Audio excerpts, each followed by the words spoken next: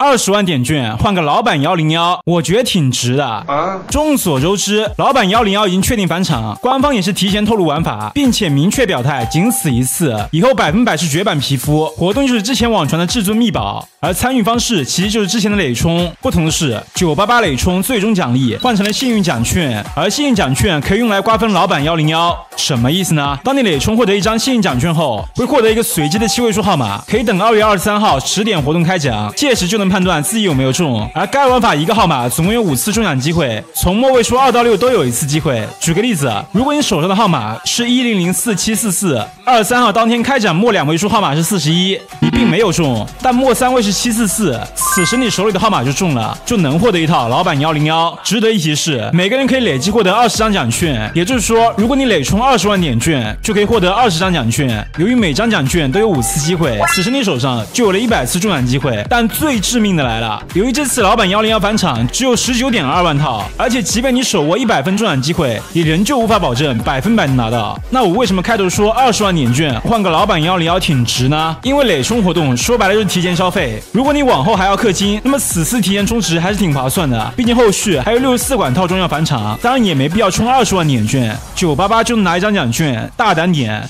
说不定一张点券就中了呢。